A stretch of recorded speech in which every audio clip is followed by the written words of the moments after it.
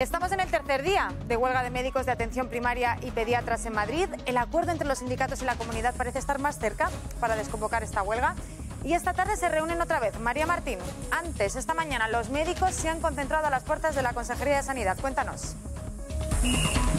Tercer día de huelga a pesar de que ayer la reunión acabara tras seis horas con un acercamiento, pero se sigue negociando. Dentro de unos minutos se reunirán los profesionales para consultar las a seguir y a las 4 de la tarde lo harán con la Consejería de Sanidad. Esta habría ofrecido un ratio de pacientes de 35 por consulta, pero los sindicatos exigen 31 y uno de los puntos sería la financiación para conseguirlo, pero dicen que es un punto de fricción para la Consejería de Sanidad de Madrid.